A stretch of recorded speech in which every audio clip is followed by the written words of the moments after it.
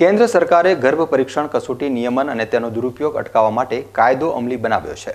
આ કાયદા પાછળનો મુખ્ય હેતુ ગર્ભ પરીક્ષણનો દુરુપયોગ થતો અટકાવવાનો અને સ્ત્રી ભ્રૂણ હત્યા થતા અટકાવવાનો છે.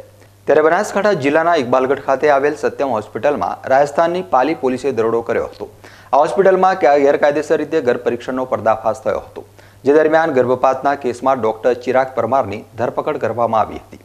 જોકે રાજસ્થાનની પાલી પોલીસે ગેરકાયદેસર રીતે ગર્ભ પરીક્ષણ કરનાર ડોક્ટરને ઝડપી પાડી કાયદેસરની કાર્યવાહી હાથ ધરી હતી.